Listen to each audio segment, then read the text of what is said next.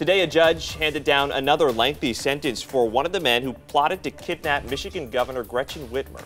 Barry Croft Jr. will face more than 19 years in prison. Investigators called him the spiritual leader of the group. Just yesterday, another accomplice got 16 years in prison. Croft is the fourth and final federal defendant to learn his fate.